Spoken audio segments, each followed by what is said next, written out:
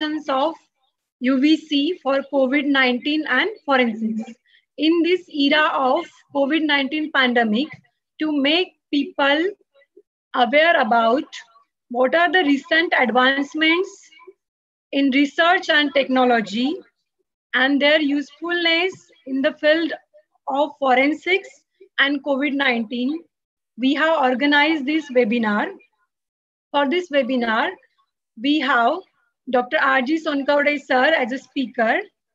Sir is an eminent personality in the field of academics and research. We have received a large number of registration for this webinar. So thank you participants for registering in a large number for this webinar. Now before heading toward the webinar, I request our Honorable Director, Dr. Satish Deshpande sir, to give a brief introduction about our institute.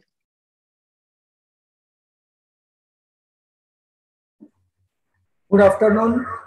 On the occasion of international webinar on application of UVC for COVID-19 and forensics. First of all, I welcome the today's speaker, Professor R.G. Sonkawade sir, who is the eminent personality in the physics, subject physics, as well as he has specialization in UVC.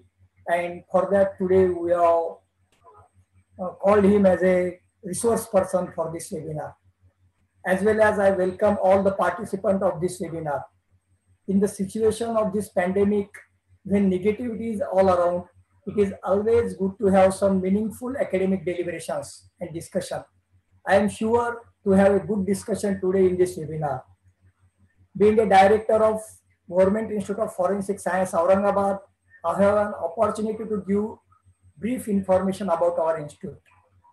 The Government Institute of Forensic Science, Aurangabad, is one of the leading institute of the country which imparts quality education and research in the field of forensic science. The institute was established in the year 2009. It is totally funded and uh, governed by the government of Maharashtra. We have completed 11 years. In the past 11 years, we are working hand in hand with our stakeholders to have a crime-free society. So far, we have trained more than 10,000 police personnel and helped them to solve near about more than 500 crime cases. We believe in academic excellence, which should be directed for the development of society, development of society. Seeing our academic excellence and world-class curriculum, government of Maharashtra recommended government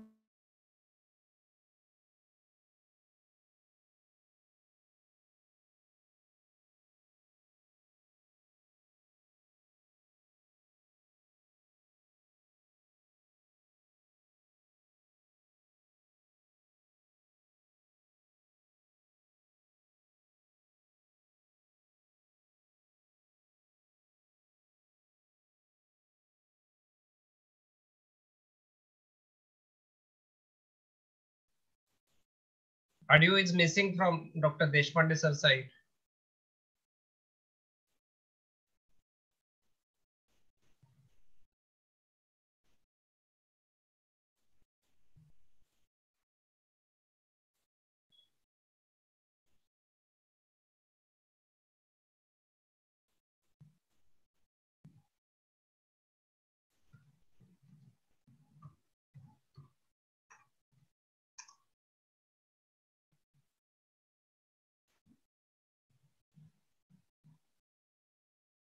Sir. because of technological problem, I have disconnected. Sir, Hello. Uh, I'm now I am visible and audible to you because of technological problem. I have disconnected. Yes. Uh, we know that the UVC uh, UVC is a multidimensional applications of this subject. So today's resource person who are expert in this field, I'm sure that this deliberation will be helpful for all academic communities and the scholars. I welcome you once again, all of us. I, I'm, I congratulate the head of department, Dr. Narware sir, uh, for taking special efforts to organize this seminar and his team, that is Dr. Sheikh sir, Ms. Pakhale madam, and uh, all the all the department personals. Thank you, one and all. Thanks. Thank you, sir. Now I request uh, Head Department of Forensic Physics, Dr. Narvade sir, to uh, give introductory remark about this webinar. Thank you. Thank you very much, Anjana. A very good afternoon, one and all. Welcoming all to this national webinar. First of all, I would like to thank all the participants who have joined this webinar. I would also like to thank our director, Professor S.M. Deshpande sir, for giving permission to conduct this national webinar. And very special thanks to today's speaker, Professor R.J. Sonkode sir, Department of Physics, Shivaji University, Kolhapur, for giving his valuable time to this national webinar. Today's topic of this webinar is applications of UVC for COVID-19 and forensics. As we know that the COVID-19 pandemic situation is growing day by day as there are, as there are 1 crore 30 lakhs positive cases around the globe and also near about 9 lakh positive cases in our country. The general objective of the COVID-19 pandemic, which is given by WHO, is to value the contributions of institutions to the development of solutions with immediate technological and social impact in order to help in order to help the health system and population to face the difficulties caused by the COVID-19 pandemic. And special objectives is to support the development of innovations and frugal initiatives adapted to their ecosystems and with immediate impact. The objective of today's national webinar is to prevent, aware, and respond to the threat posed by the COVID-19 and to strengthen national health system for preparedness in India. That's why we chose the topic applications of UVC, COVID-19 and forensics of this national webinar. UVC light source is used to as a sanitizer as well as it is used in air purification. Also the applications of UVC technologies are used for multiple purposes in forensic investigations, including authenticating paintings and other fine arts, authenticating signatures, analyzing of question documents, eliminating latent fingerprints and uh, latent fingerprints at a crime scene. Now, and it is trace evidences on clothings or other objects. Analyzing ink stains and many more applications of UVC in forensics will be learned in detail in this webinar. So I hope all the participants will listen carefully, learn and understand the applications of UV. Thank you. Thank you once again to all participants who are attending this webinar. Thank you. Thank you very much. Now I request to Anju madam. Thank you, sir.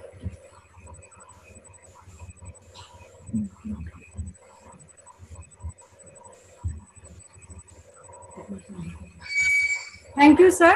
It's my privilege to welcome our today's speaker, Dr. R.G. Sonkawade, sir.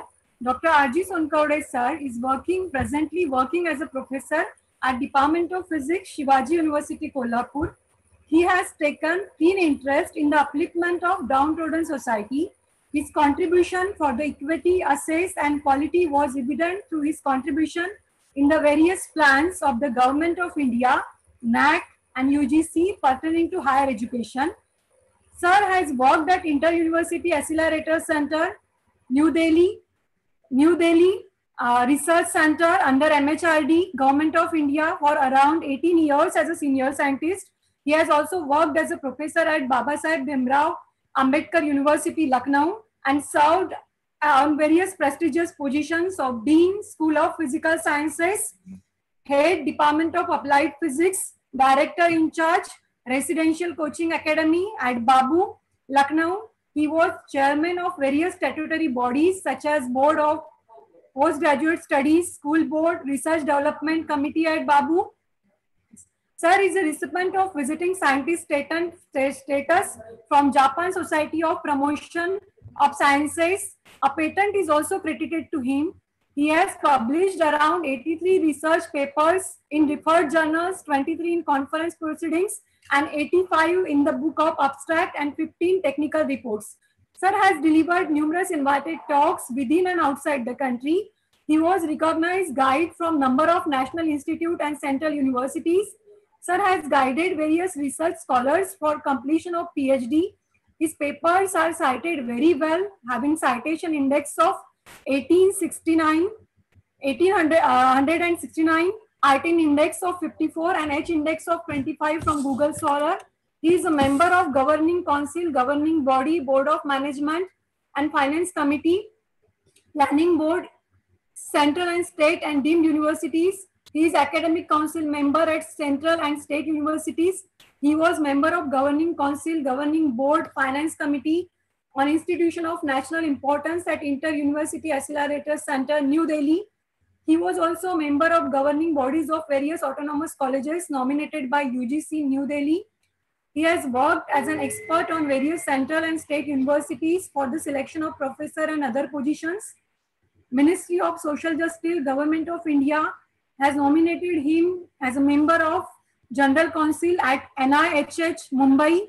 University Grant Commission nominated him as a member on various committees such as expert on Commonwealth scheme, minor research projects of UGC, he is a nominated UGC Observer of Careers Advancement Scheme at various universities to review the promotion of readers to professors and experts on Commonwealth scholarship and minor projects of UGC. Sir is also a member coordinator of National Assessment and Accreditation Council NAAC, Bangalore for the peer team. He has accredited various public state universities, deemed universities, National Institute of Technologies, various colleges in the country. He is also former patron and president of Nuclear Track Society of India, which is the oldest society located at BARC, Mumbai. Sir has visited many countries for his scientific pursuits. His current research mainly involves synthesis and characterization of conducting composites for sensing application, supercapacitors, and other material science research. He organized number of international and confer uh, national conferences recently he was impaneled uh, for the Vice Chancellor University of Mumbai, Mumbai by Search Committee headed by the renowned scientist Dr. Kasturi Rangan, former chairman ISRO. Thereafter, he was impaneled for the Director, Inter-University Accelerator Center, New Delhi, and for the Vice Chancellor, Swami Ramanand Teerth Marathwada University, Nanded, Maharashtra, and one thing like us, sir has also completed his master's from Dr. Babasaheb Ambedkar Marathwada University, Aurangabad. And uh, he has also a diploma from BARC. So this is how I uh, summarized his work in brief. But beyond this time, his work is beyond this uh, time limit. So now I request our uh, speaker, Dr. Aji Sonkawade sir, to deliver his talk. First of all, let me thank you to all team of Government Forensic Institute, uh, Aurangabad, for giving me this opportunity. And I would extend my warm welcome to all the participants along with the uh, this webinar organized by this Government Institute of Forensic Science, specifically Dr. Deshpande ji, uh, to whom I am aware very well the work he is doing for this uh entire Government Institute of Forensic Sciences as uh, Ms. Uh, Dr. Anju Kokade has uh, given the introduction about me, how these things are going on and about my achievements. Today's uh, topic is also very, very interesting. Uh, Dr. Sharad Naravade has already mentioned a few things about this. And uh, in this context, uh, whatever today we are facing the pandemic situation all over the world, this topic has been uh, taken up for this uh, webinar. Moreover, after our discovery, there are many, many things which has come up in the market uh, about these uh, devices which has been used for this COVID-19 neutralization. As my title has been mentioned, applications of UVC for COVID-19 and forensic sciences. I would like to exclusively focus on COVID-19 and then the role of the UVC. In the introductory part, uh, Dr. Sharad Naravane has already stated a few words about ultraviolet rays. So these are the things uh, we will be focusing today's uh, webinar and I'm sure everyone will enjoy this uh, webinar very much. If we'll think about this COVID-19, I'll just play a video to all of you in December 2019, the Chinese authorities notified the world that a virus was spreading through their communities. In the following months, it spread to other countries, with cases doubling within days. This virus is the severe Sir, sorry for interrupt you. Please share your screen. The cause of the disease called COVID-19 and that everyone simply calls coronavirus. Is the screen sharing is available with you? In December 20. Yes, sir. Please Please share oh. your screen. Oh, it was not shared with you? I'm just sharing Not- the screen once Not again. visible, sir. Not I, visible. I'm sharing the screen.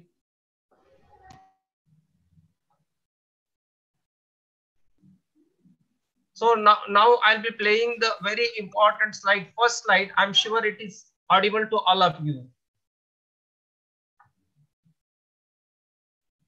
The screen share is available now. Yes, sir. Yes, sir. Okay. The- This is the one aspect which we wanted to cover exclusively. December 2019, the Chinese authorities notified the world that a virus was spreading through their communities. In the following months, it spread to other countries. As it has been stated, and we all are aware of how this COVID-19 has come up from where it has come up. This exclusively video was dedicated for this only. This virus is the severe acute respiratory syndrome related coronavirus 2 that causes the disease called COVID 19 and that everyone simply calls coronavirus. Now everyone knows this is the coronavirus, and uh, if we we are aware, and a few of us may not be aware, in India on January 30, 2020, first case was reported. That is in the Kerala, which has been stated in my slides also. The first case was reported in Thrissur. Actually, this uh, lady doctor who was studying at one university, she flew to Kerala, and uh, after some days, it was found uh, that she is a COVID positive. That time, this uh, news appeared in all our print and electronic media. First case was reported in India was on Thursday, January 30, 2020. So considering this aspect, we have started working how to counter because uh, we are as a scientist, we were aware this may be creating a huge havoc in entire world. So we started working on this aspect. And basically, I am as a nuclear physicist, we started working on radiation physics, how to counter it. But if you see electronic magnetic spectrum, these radiations, both are radiations, UVC as well as uh, alpha, beta, gamma. But uh, there are the difficulties of alpha, beta, gamma or neutron. Then we are switched over towards these uh, UV radiations because it's well well aware fact that UV radiations will kill viruses and the microbacteria. But the thing is, we were not aware how it will be killing it. And slowly, slowly, we started doing our work. I will be coming in the next slide how we have come up with that. As it has been stated by Dr. Tedros Adhanom that we cannot say this loudly enough or clearly enough or often enough, all countries can still change the course of this pandemic. As it is evident as of now, how this pandemic has created an havoc in entire world. So these are the few of the things which has been aware that these infections has been arised at so many places. Now, if we'll see just now, Dr. Sharad has also mentioned what is the cases reported so far. This is the globally statistics which has been taken and this is yesterday's and the source is WHO. If we'll see about this uh, Indian statistics, in our country also, this uh, virus has spread a lot. And this is right now also that this is as a spreading. If you see in our country, Maharashtra is topping. Uh, so these are the few of the things why we have chosen these at that time. Now, if you see country-wise, India is going up and it may come up uh, maybe with a very high ranking. And this also needs to be countered with our research.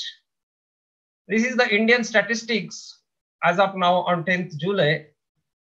As we all are aware, this pandemic has created a lot of havoc and this has been created global impact on financial aspect as well.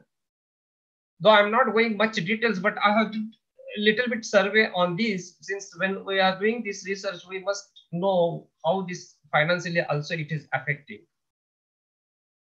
And this many countries have been stated how this has been affected for them, such as oil prices, it has gone down, economy has gone down, and the percentage wise also they have come up.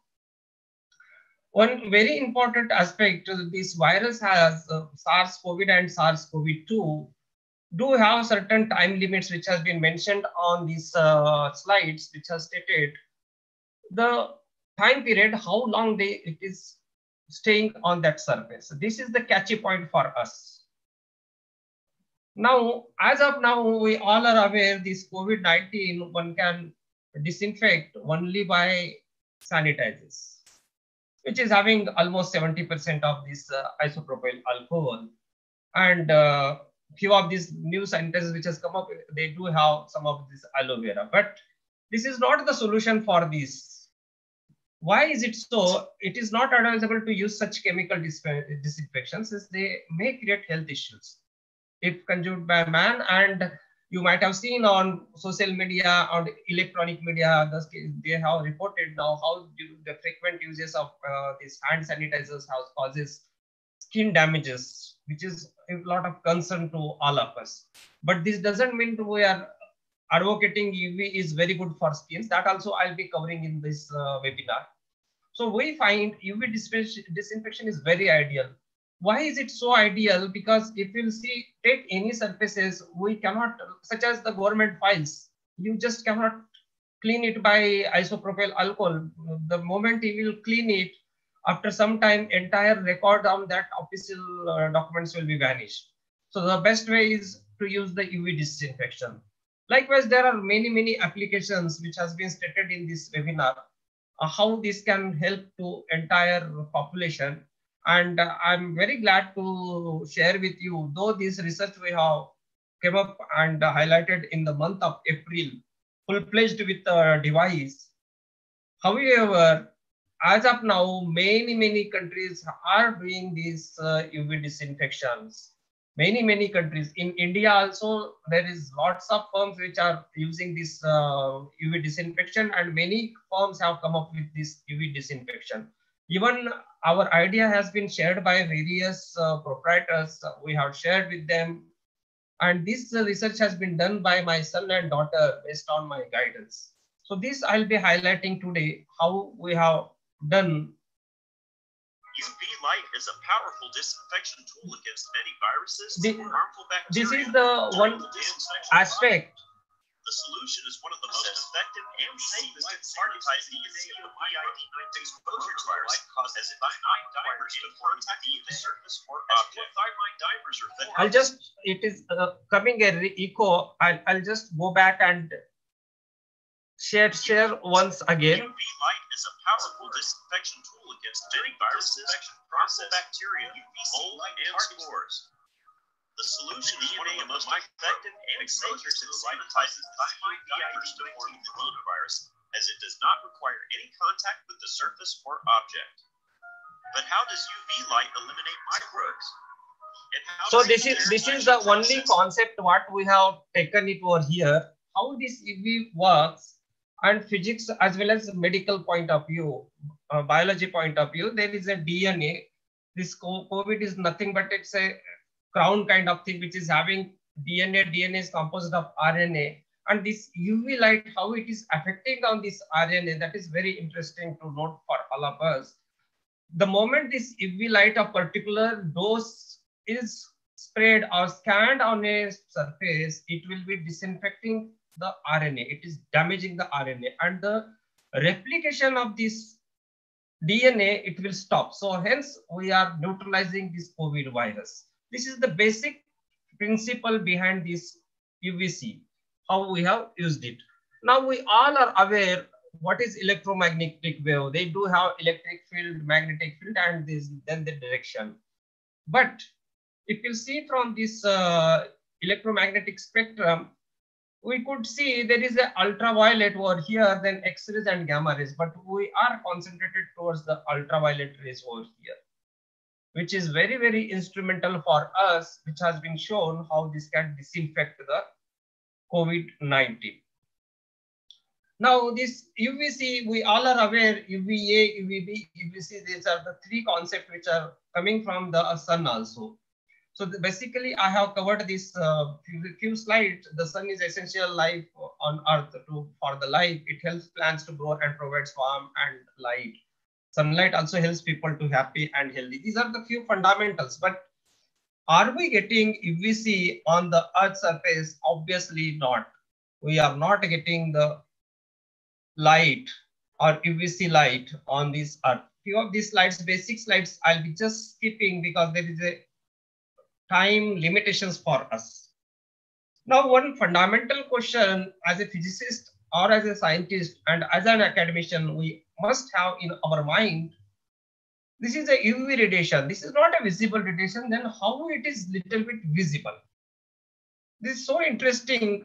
If you'll see some of the literature, we will find out this at couple of the places, how this is visible mostly this UV light is nothing but it is a lamp with the two filaments and which is filled with a mercury. Exclusively in our eyes, there is the receptor which causes this light to be bit visible. The moment any layman person can ask us a question when we are talking, this is a UV, how it is visible because we will, when we'll switch it on, it is the, there, the light will be displayed. So the concept one has to understand. If it is UV, how it is uh, visible.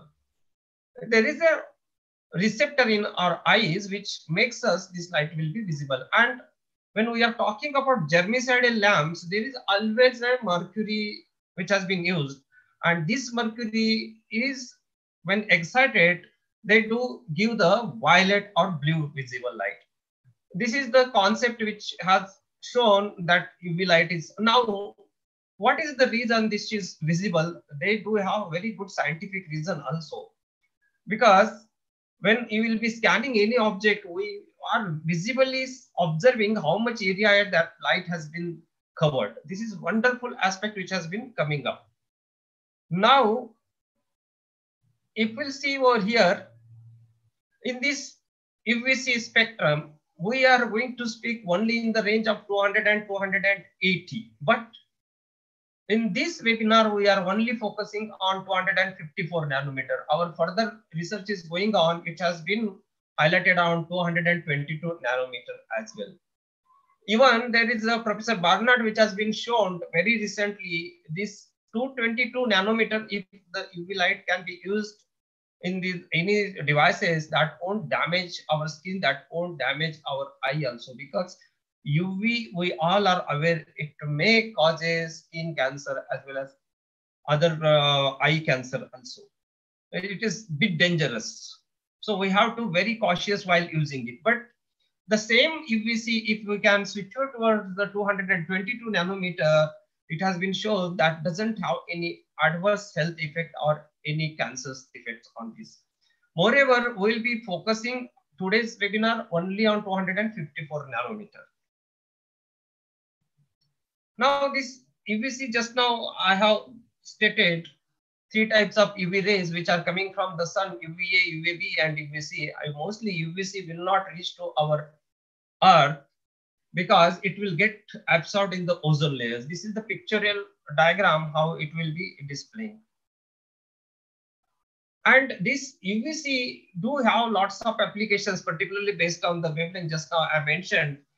Though we will be focusing today's webinar on 254, but we have concentrated around 222 nanometer also, since we want to have the safety of lots of uh, workers uh, involved in this. Basically, when we started this research, we were not aware of what is the exact dose of UV rays, which is essential to kill this COVID-19 or deneutralize, neutralize this COVID-19. And uh, this research was published in the month of March by America and uh, some of these hospitals uh, in that region. They have stated with a wonderful research at D90 dose, it is around 67 joule per meter square. And this was the catch point for us we were ready with the concept, but we were not aware about what is the dose available to kill this virus. And when we approached this NIA, National Institute of uh, NIV, National Institute of Virology, Pune, ICMR, none of them has entertained us to check our device. But uh, this research article has supported us and we could able to do it. Moreover, I would be focusing over here, this uh, device, whatever we have established or formed or made it has been tested with by E. coli virus, which has been shown this device, whatever our calculations, our experimental data is there, it has been performed much better than that because uh, E. coli is also one kind of virus which is very common, has been used in such kind of studies. Now, further added part for us is we got a tie-up with ANSYS and CADFEM, who is our partner technology, particularly in terms of research. They have uh, helped us to get all these simulation results. We were aware and everything was available theoretically and experimental results, but we wanted to get the feeling how this will be doing in the simulation part uh, is this. Since uh, ANSYS and CADFEM is all we are aware how wide, worldwide they have involved and their innovation as well as their involvement is extremely well. This is so simple device. The geometry has been given over here. This is a UV torch which is fitted with uh, two tubes. And uh, the in this simulation, we have taken the distance from the surface is 5 centimeter and 25 centimeter. If you see this angle, which has been stated over here, which has been given is flap over here, which is having 45 degree angle. The concept of this angle, whether it should be 30 degree, 35 degree, 40 degree, 45 degree, 50 degree, 60 degree, we could able to do all the simulation results with the help of CADFEM. And uh, we have seen how dynamic these results are and they are matching with us. Moreover, we have used the UVC spectrum in the simulation from 100 nanometer to 280 nanometer, but the prominent peak is 254 nanometer. And this body of this UV torch is, which is having over here is a SS304 stainless steel. And the same has been used in our uh, device as well as in our experimental works also. SS do reflect UV around 25%, they do have reflection. Where if you replace the same with aluminum, they do have 70 to 80% of reflections, which is having very good dose contribution. Now this is the CADFEM has given us the simulation results. If you see here, the title has stated reflector angle of 30 degree means we have changed the started varying the reflection angle of that torch, UV torch. And we could see at 5 centimeter, 25 centimeter, how the dose uh, pattern is coming up. If you'll see over here at 30 degrees centigrade, the dose pattern is equally good it has been stated over here and this is, this is the total area in that. If you will at 30 degree it is covering around 32 centimeter by 22 centimeter. And if you will vary the distance from the surface at 25 centimeter you will be covering 83 centimeter into 88 centimeter. But we all are aware these radiations or light follows the inverse square law. The moment you will be away going away from the surface your disinfection time will enhance. So we have designed such kind of torches that at 2 centimeter, 1 centimeter, 5 centimeter, 25 centimeter, what will be the timings on the scannings? That part has been covered in our entire this research work. If you see 35 degree, more or less now the simulations which has been done by, by CADFEM at various um, angles. Now this is again for 40 degree and 45 degree. Actually, in our uh, this device, we have chosen the angle of 45 degree. Though at 50 and 60 degree, this uh, dose pattern is very good, but we are not going to 60 degrees since the scattered rays on the human eye is expected over there and which is uh, which is contributing to the human eye. So we have stopped at the angle, irradiation angle of 45 degree in this uh, device fabrications. Similarly, if you see at uh, 50 degree reflector angle, we could able to get a very good uh, dose distribution and the 60, uh, 55 and 60 also. But we have, as I stated, we have restricted only up to 45 degree to protect the human eye. Now, this is the simple example because in subsequent slides, I'll be showing you how this disinfection pattern has been done it. This device can be used to disinfect it vegetables, uh, even currency notes, gloves, whatever ma um, market articles and fruits. So in this case, mostly we have taken a watermelon to show to the public how this dose uh, distribution will be there. And even we have mentioned while using to disinfect this uh, UVC from these fruits and vegetables, you have to turn it up down the moment you will be see over here the dose distribution is coming like this. So it means this bottom part there is no distribution no no no not at all any uv rays which is exposing to this uh, watermelon. Hence if there is a virus available in that part then again it will create the problem of uh, affecting to the people. And we know there may be the some of the carriers which might have got uh, infected such kind of fruit articles currencies or gloves and and so on so this is the concept how we have done it, uh, particularly for this watermelon. Since uh, mostly we have seen in the fruits, apple is there as well as watermelon is there. We have taken the maximum size of this watermelon and uh, we have seen the dose distribution pattern.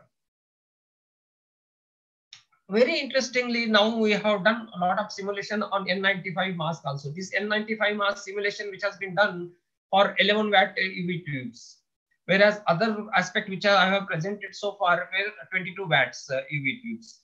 In N95 mask also, uh, this if you will put it under the UV, how this dose distribution pattern will be visible. The reason for this to cover all these UV, this uh, mask and all these things, because some of us may not be affordable N95 mask. Even the surgical masks are also not affordable by common people. Hence, they can just scan this mask under UV torch and whatever infection is available on this mask, it will get neutralized and one can reuse this mask extensively. So this is the concept why we have covered it. Then few of the aspects which we have given over here we wanted to compare our results, experimental results, theoretical results, and simulation results, and we could able to match with the perfect results of this manufacture which has been stated. In our uh, entire work, we have taken the Philips uh, ultraviolet tubes, and that ultraviolet tubes do have the maximum irradiance at 1 meter, 26 microwatt per centimeter square, which has been given by the Philips. So our uh, these uh, results have almost matched with uh, the simulation results have matched with the manufacturer data. So that is one of the beauty. Now again, I'm thankful to the ANSYS uh, and CADFEM. They have given the simulation for N95 mask. See here, the idea to present you in few of our next form, which will be talking with us, they have come up with such kind of microwave devices which can be sealed UV tubes and they can be used for the disinfection. This is schematic of this uh, simulation, which has been played uh, for all the viewers, how this will be looking it. And uh, this ANSYS is really a very wonderful tool which we have observed and uh, they have involved at various levels uh, for UV radiation modeling from lamps and LEDs, then minimizing occlusions and shadows and surfaces. This has really helped us uh, to make this device much faster and uh, corroborate our theoretical and experimental and simulated results also, which has matched very well. Around uh, 5 to 10% error, we could able to achieve it. So once again, I must thanks to this uh, CADFEM and ANSYS for their contribution with us. So this is a schematic of that um, UV tube, how it is having, which is having the mercury in that, and there will be the two filaments which has been used in our UV torch. Now, physical behavior of UV radiation, uh, the, it matters on reflection, refraction, absorption, and penetration. If uh, there is the penetration power, which we have seen it, how, how far uh, this can be penetrated and uh, can be used, as well as refraction. As I just now I have stated, there, there is the refraction available from steel and uh, aluminum, which we have seen it then the absorption where it gets absorbed. These all uh, parameters have been studied by us. If you'll see over here, very, very interesting. I'm sorry, this this is this UVC is 254 nanometer, B is 300 nanometer, and UVA is 350 nanometer. This slide I'll be focusing over here because there is always a concern that UV has dangerous effect on uh, skin as well as eye. No doubt, if you are working with 254 nanometer, there is a problem of having some skin disease, skin cancer, or some irritation on skin, and I also get some damage. So that's the reason now we are replacing this 254 nanometer to 222 nanometer. And moreover, this 250 nanometer won't cross beyond certain, this, this is only damaging up to our dead skins, which is having on our body dead skins maximum problem what we have seen in with UVA and UVB because UVA and UVB goes much deeper in your skin and that's the thing with the time you one has might have been observed lot of uh, this um, lo loosening of skin which gets then there is a pigmentation on the skin which has appeared this maximum this effect has happened due to UVA and UVB radiations of course, UVC is not so much harmful, but this doesn't mean that this is uh, very good for the skin. This is absolutely not at all good for the skin. And that is the reason in now few of the subsequent slides, I'll be focusing this device. There are the lots of questions raised by users. Can we use it at our home? Can this will damage our food products? Uh, all this has been explained in subsequent and how to protect ourselves there are very, very simple technique which has been stated in subsequent uh, slides uh, with a video. We have done lots of research on these aspects. See, this is the UVC applications we do know because I'll be skipping since there will be the certain time uh, constraints for me. And I wanted to focus over here. If we'll see, I'm sure you all will Few proteins, arguably not even a living thing. It can only make more of itself by entering a living cell. Corona may. See, this, I just stopped this video. First uh, slide in the video was focusing on COVID, the structure, why it is called as uh, COVID, due to that crown kind of things, it is called as COVID. Then how it is infecting this may get infected due to our uh, inhalation and uh, touching and all these things. This video specifically how this UV torch is playing an important role scientifically has been mentioned in this bit covered in this video, then I'll be coming up. But it's still uncertain how long it can survive on them. Its main way of spreading seems to be droplet infection, when people cough, or if you touch someone who's ill and then your face, say rubbing your eyes or nose. The virus starts its journey here and then hitches a ride as a stowaway deeper into the body. So this is the schematic how this UVC, uh, sorry, this uh, virus has been spread on various objects, surfaces, then one is to one uh, on a human, it has been spread. So here itself, our UVC has played an, a very, very important role. Now, this is the torch which has been shown in the video. This is the torch, UVC torch, which is having two tubes of 11 watt and 11 watt. And you see, we are doing the scanning this is the vegetables. This is our device which has been made by us.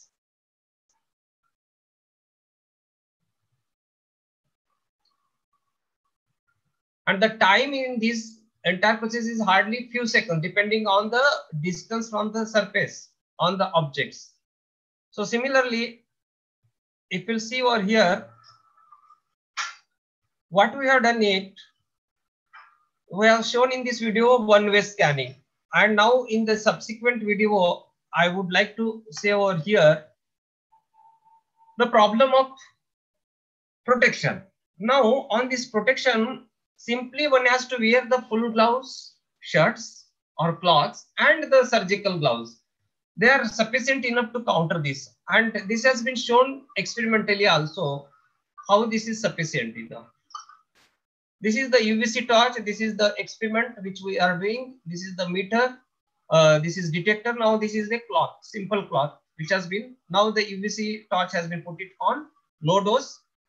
The moment we'll be taking it out, we'll be getting the dose. This is 4.1. This is the excellent protection. It means our full sleeve shirts and the gloves can protect it. Even in recent subsequent video, I had shown it eyes, how to protect eyes now. Because this is a one concern for all of us. Now again, we'll be putting the same UVC device. This is a uh, UVC meter sensor for that UVC meter and this is the ordinary spec. So with ordinary spec, you could able to block the UV rays. Now we will remove it and we'll put it on 4.35. It means with an ordinary spec also while scanning the articles are sufficient enough to use it and they can take care. Now here, as I was mentioning, use the surgical gloves. See, the meter is showing 8.43 or so dose. Now we'll be covering this with a surgical gloves, this meter. And we'll be putting it on. So there is absolutely no dose. It means a small full sleeve shirt, blouse, and our ordinary specs are sufficient enough to counter these uh, health hazards of UVC. Now, what are the applications over here? Our torch has shown tremendous applications, such as our routine use of wristwatch, specs, our wallet, which is having currencies, which is having debit card, uh, credit card, all these cards. So there, it is quite often possible it might have get infected through carrier or you yourself are uh, the one of the infecting source for that. So how to neutralize it? Currencies and all these things, simply you put it under the UV scan for a few seconds, it will get disinfected. Similarly, in this slide, we had seen it mobile, laptop, tablet, and desktops. Mobiles, even the keyboard and uh, the laptop, tablet, you can simply keep it and swipe, swipe it. It will get disinfected. Then the gloves and mask. One, one wants to reuse the gloves. You can just disinfect it with UVC, you can reuse it. Packaged food. Now the government has allowed various restaurants, they can pack the foods and they can uh, sell it to the consumers. So even if there is any carrier available or if it has got disinfected through any carrier, that also can be disinfected. Simply swipe your torch and you will get disinfected. Similarly, surgical and medical equipments and these barber shops they have opened. Now the government has asked to open the barber shop. So that also can be disinfected with this UVC. Then cloths, most of our shirts and which will be wearing going in the market, then we are suspicious that it might have got some contamination and how to clean it. One easy way is to we simply dip it in the soap and uh, we'll clean it. And the concept over here is same. See why the government or uh, WHO is asking us to clean our hands uh, or clothes with a soap because this COVID virus is nothing but is having a fatty acid which is covered with a fatty acid and this fatty acid breaks and the entire the RNA gets ruptured. So there is it gets neutralized. Same concept is here with the UVC also. It is neutralizing it. Similarly, our cars, uh, two wheelers that can be disinfected with UVC. So this is so wonderful uh, technique which can be used for this uh, um, disinfection of COVID-19 viruses using UVC. Now, few of these uh, inventions carried by print and electronic media. Electronic media was uh, covered by in Maharashtra and uh, all over the country by Zee News and other TV channels. And print media also has been covered by so many elect uh, print media in our in whole country because the reports which we got it from Kerala uh, when we invented this and this this was flashed in the on 15th April or so. 14th April uh, was covered on all this print, uh, electronic media and 15th April has been covered by most of this print media in entire country. So this is the one of the catchy point which we had shown it. And very limited uh, print media articles which I have taken over here for this uh, webinar.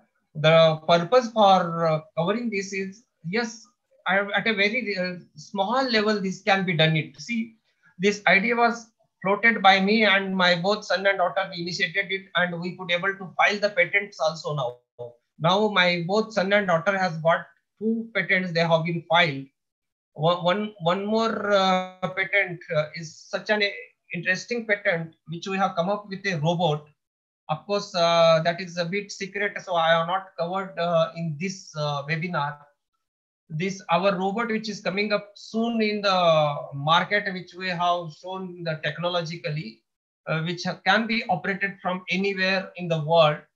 You can put it anywhere disinfect your uh, house even uh, the disinfected wards of covid restaurants anywhere so the remotely you can just take your mobile operate from your mobile, see how the robot is disinfecting. There is the timings fitted in the uh, robot.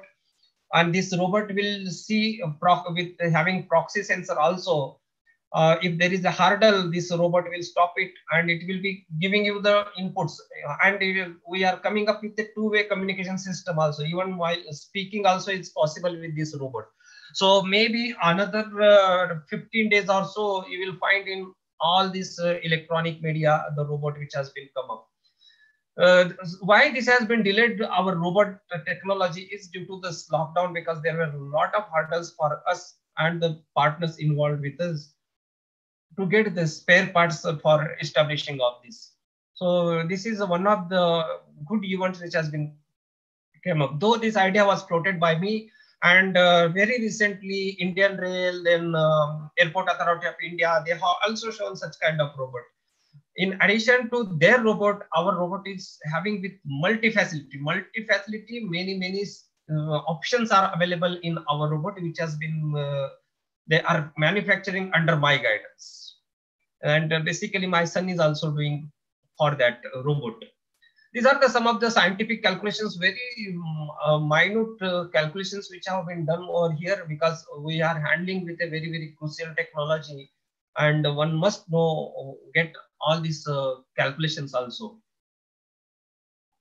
This exposure rate, uh, how we have calculated these all have been covered in this. Um, uh, then lastly, this is the wattage, as I stated to you, it is not necessary that we have to use only 11 watt two tubes also. You can use any tube.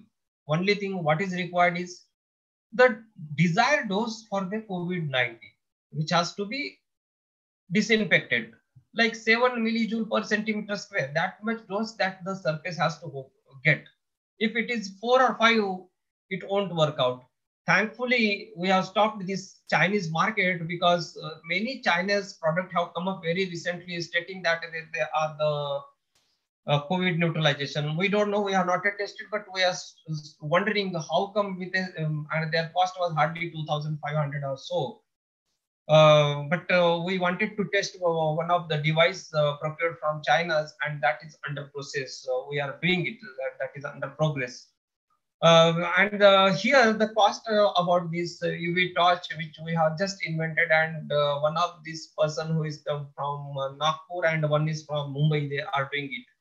Only they have taken the technology from us and their cost is more around from 5,000 to 7,000 rupees. This is the UVC for COVID-19 uh, neutralization or disinfection.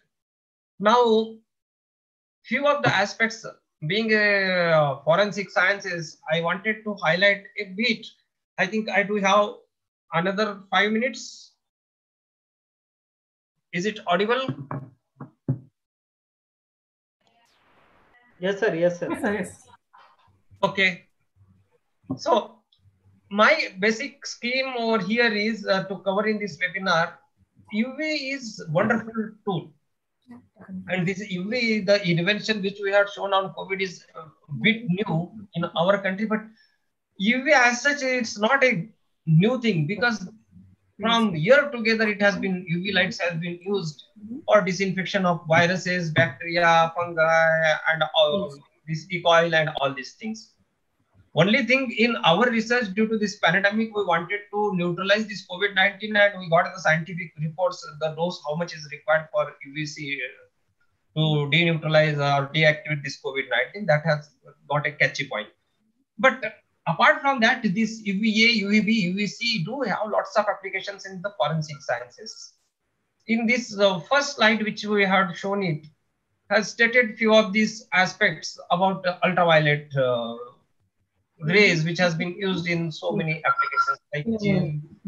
Then uh, in our uh, fingerprints, uh, then uh, uh, the artifacts, uh, so many things which has been uh, done over here. And I am not going much in detail what is forensic science because you all are aware about this, but only I wanted to highlight few of the concept of how this UV light has been used in the criminologist or criminalists.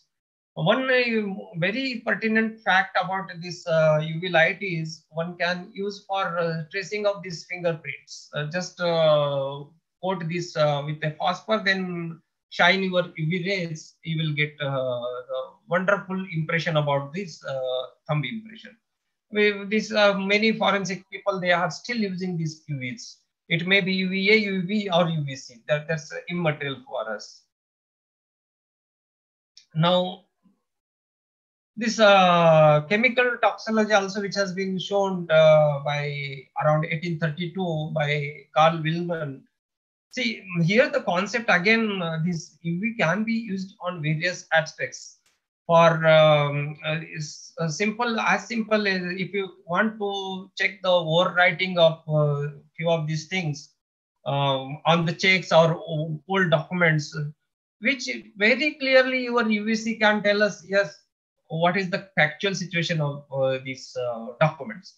So these forensic sciences do have lots of wonderful applications of UVCs.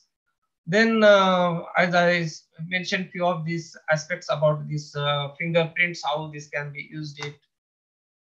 Then uh, other aspects also. In total, I have covered entire applications of UV rays, but very simple and even this hotel industry uses UV is just to see whether this bedsheet and others they do have the blood stains or uh, some dirtiness on this. So with uh, UV, you just simply shine UV on the bedsheet in the hotel. You will find yes whether it has been cleaned or not. If it is not clean, there is a blood stain also. With the UVC, you will get that spot very much visible. So this is so under the same technique. These uh, forensic people have used it uh, for um, um, to catch all most of these crime records. That is one of the as well as in this bathroom, we do have the commodes and these things. You can find out simply on the commodes. Focus our uh, yesterday also I have done one experiment with our UVC with uh, commode and uh, highlighted pen also shine these UV rays on the commodes, you you will find out the droplets of urine, whichever is available on the commode. So that you can use it for a forensic investigation or for the cleaning, the hygienic point of view, which is so evident. This is nothing but a simple touch which you can take it in your hand and uh, check it. So these are the couple of the concept which we had shown it uh, on this uh, UVCs. So these are the various applications which had been mentioned by me on UVC applications in uh, forensic sciences. I'm sure uh, most of this part have been covered because uh, I have told uh, Dr. Sharad also this uh, being in pandemic situation, let's focus more towards the COVID and applications of UVC and a big part on this uh, UVC light on forensic sciences. So likewise, there are many things which has been stated and I have just spoken, which has covered in these slides also. With UVC, you can get it all these kind of duplications. You can find out what exactly was hidden behind that. That can be uh, find out for usually for document verification, driver's license, passport, credit card, and many other official documents. You might have seen on our credit card there is a number uh, 12 or 10 uh, digits number quite often. Oh, yeah, 16 digit number quite often with the use of the, our debit card or credit card, that number gets uh, invisible. And uh, simply what you can do it, uh, either you put it to fluorescent or UV, you could very clearly make it visible our uh, that uh, numbers on the debit card or credit card. So these kind of applications which do have these UVCs. Then this is a thumb impression, which just now I mentioned. Yeah, these these are the latent finger. This I'm just skipping because there is a short of times also. There are few videos which I have covered it, but thank you. And uh, now I'll, if there are a couple of the questions uh, or feedback, if you want to take it from me, uh, we can have it.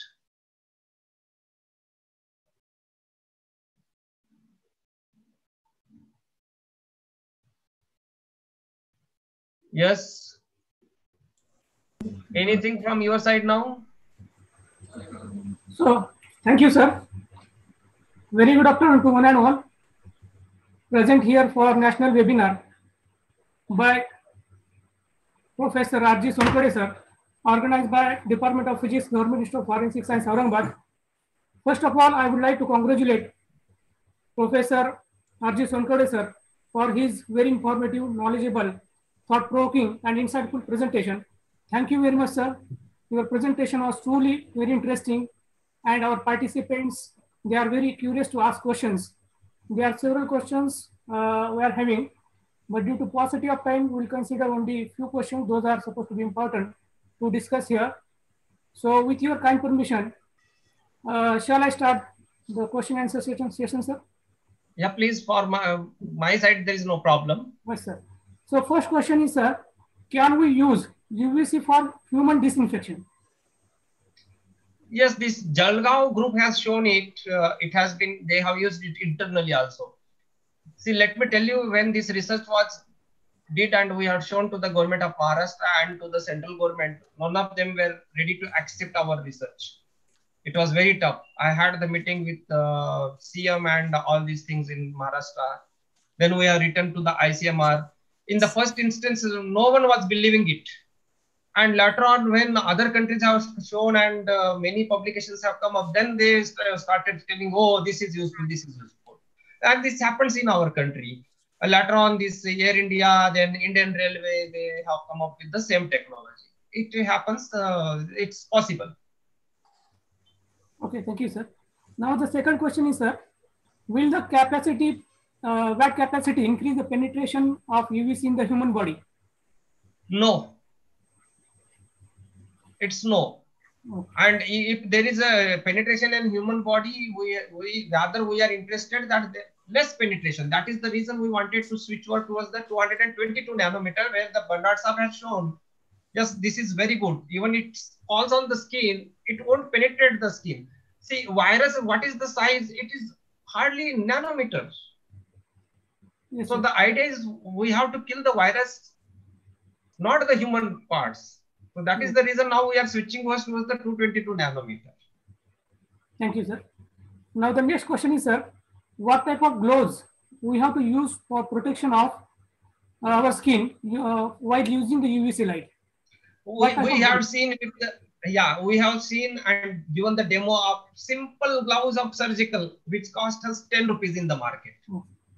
Whereas the vendors now with this uh, toys, they are selling the good quality uh, gloves, hand gloves, which is maybe costing, but they, that is a package.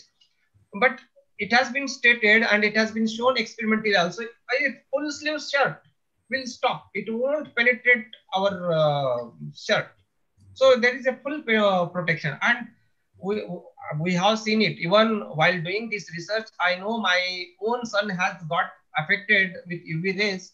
Whole night his uh, eyes were full of blood uh, and I was scared what could have happened.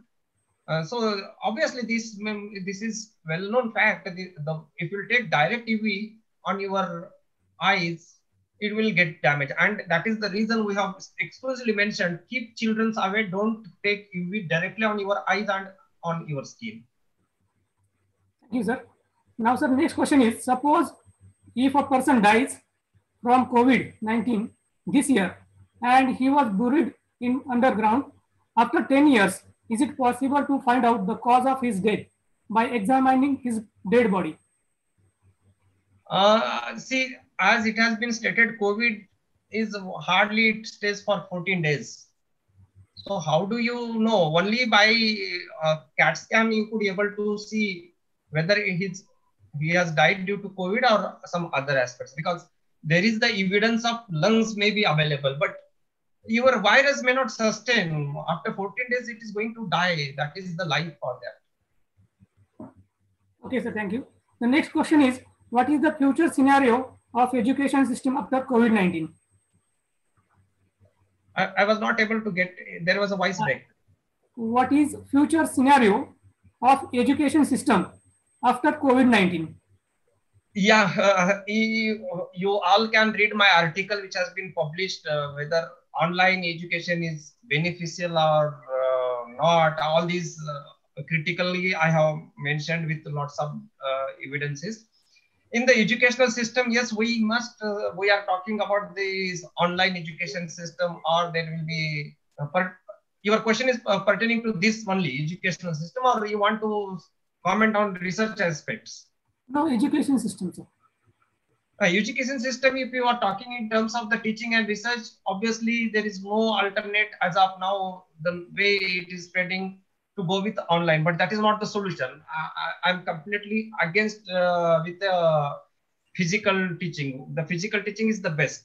Moreover, now when we'll speak in terms of the R&D point of view, there is huge scope for our country to show in this COVID various research like this UVC. This was a very, very simple technique and I explored it and uh, uh, my research was shined all over the country, not our country. It was taken up by Western countries also. It, we just overnight, though I took a lot of time for investigation, doing research, when it was flashed in electronic and print media, there were so many queries, so many calls which has been I have received. And still I used to get a lot of telephonic calls and queries. Continue. video.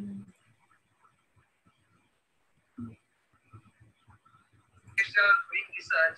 When it was flashed in electronic and media, there were so many queries, so many calls which has been IRS. And still I get a lot of calls. Thank you, sir. Next question is, sir, can you throw some light on UVC detectors? What is the meaning of the value you showed in the video 4.35. What are the units? Yeah, milliwatt, milliwatt per centimeter square. Thank you, sir. The next question is,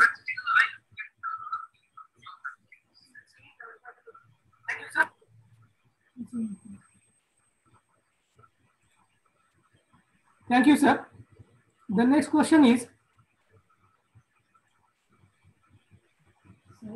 how can how can UV be used for human disinfection?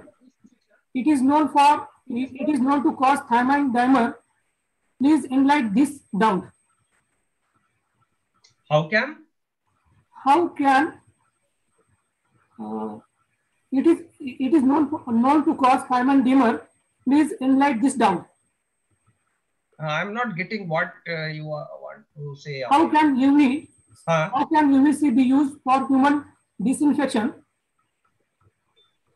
See, uh, as I told you, on the human, if you are using 222 nanometer, this research has been shown abroad, it is good. But 254, first of all, we must explain this. UVC, no one is acceptable on the human body.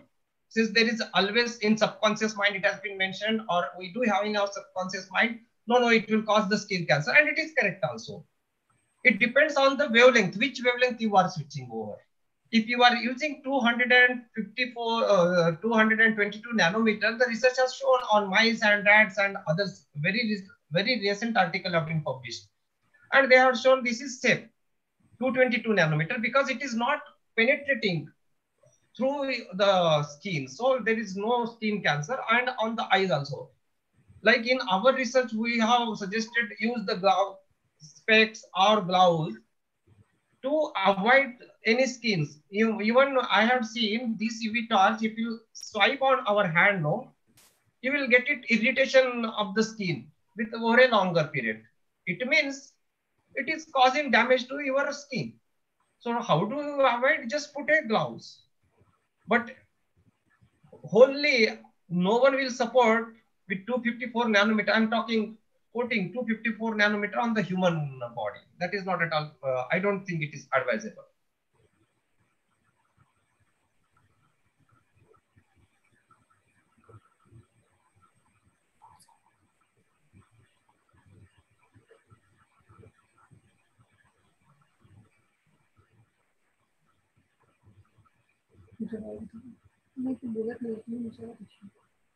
Hello, sir. Yeah, tell me. Yes. The next question is, this virus is vanished after 14 days of infection. Yeah. So why people are not not touching the body of dead person? Do you mean for, for, for, for 14 days you will keep the dead body? No, it is not possible. See, once the virus has been developed in that body, means one virus, how you will keep it to the dead bodies for, it will spread whole. See, simple it will take, and it is not necessary that uh, so far research has shown uh, one single COVID virus is not at all affecting everything. It requires certain amount of viruses, then it is affecting, and that has it is exponential growth of this virus. So that is dangerous, and that's the thing. It is causing the pandemic. If this is the situation, okay, uh, one virus, then we could have countered it, but it's not feasible, and that is the reason oh, it is not advisable to touch the dead bodies. It is very quickly, it will be infecting to others. Thank you, sir. So the next question is, what is the mechanism uh, of COVID-19 disinfection by using UVC light? Yes, exactly. I had stated in my video and the animated slide also. Once this UV light is falling on the COVID-19, COVID-19 is nothing but it is having DNA, DNA is having RNA. So the, the strands of RNA it is breaking. The moment it breaks the strands of RNA, the COVID will not get replication. The Replication will stop. It means it is dying there itself. That is the mechanism which is having with the UVC.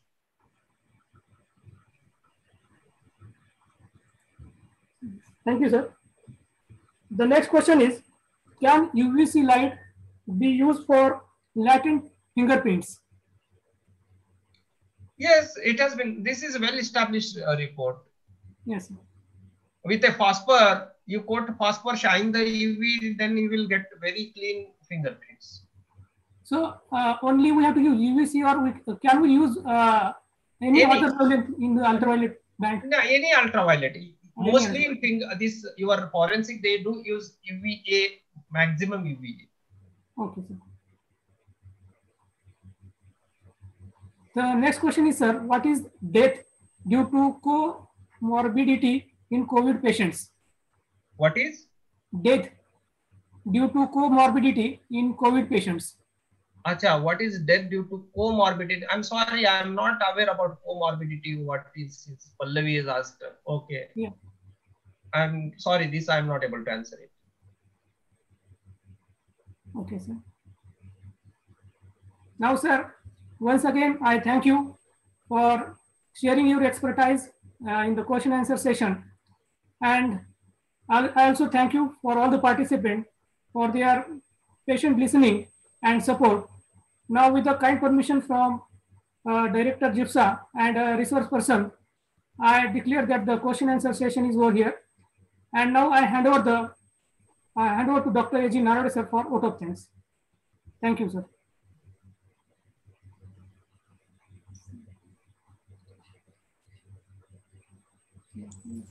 Thank you. Thank you very much, sir. Sonkawade, sir. Thank you once again. Welcome. It's a wonderful session, sir.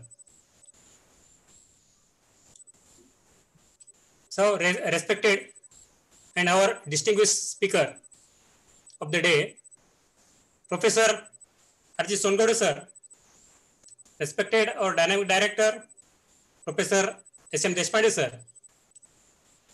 Our beloved faculty members, organizing secretaries, and my dear great participants. I deem it a great honor to propose the vote of thanks to all who have helped or who have helped us in making this webinar such a resounding su- success. First of all,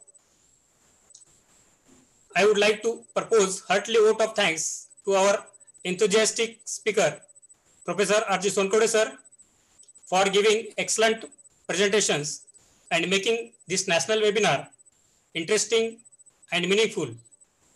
Thank you once again, sir. Welcome. I would like to express our profound gratitude to our director, Professor S.M. Deshpande sir, for his presence in this webinar. I would like special thanks to Dr. C.N. Kaite sir, Head of Department, Digital and Cyber Forensic GIPSA, for giving technical supports of this webinar. I would also like to thanks organizing secretaries of this event, Dr. Fayaz Sheikh and Mr. Anju Fakhale madam for taking effort to organize this webinar and making its grand success. I am happy to express vote of thanks to our faculty members of GIPSA who have made this webinar a grand success. Finally, I would like to thanks all the wonderful participants who has different place and states for making the event success. Thank you. Thank you so much. Your cooperations. Once again, I thanks all for your cordial cooperations. Thank you. Thank you very much. Thank you, sir. From here. Uh, Thank you, Dr. Aji Sonkawade, sir. I think uh, this is an this was an excellent opportunity for the research students and uh, for all those who want to use their research for the betterment of society. So I, uh, I hope that all participants have gained much knowledge from this webinar. I uh, request all the participants to fill the feedback form. The link is provided in the Zoom chat box and also in the also in the YouTube chat box. And uh, you will get the certif- e-certificate of this webinar within eight days from now on. So on behalf of Government Institute of Forensic Science, Aurangabad, I once again thank our speaker, Dr. Aji Sonkawade sir, for his valuable time and sharing his knowledge with us. Thank you, sir. So with the permission of uh, chair, I declare that this web webinar is ended. Thank you. Thank you very much, sir.